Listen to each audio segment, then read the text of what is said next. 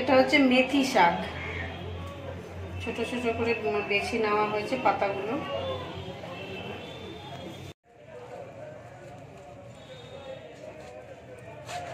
একটু বড় বড় করে কাটতে।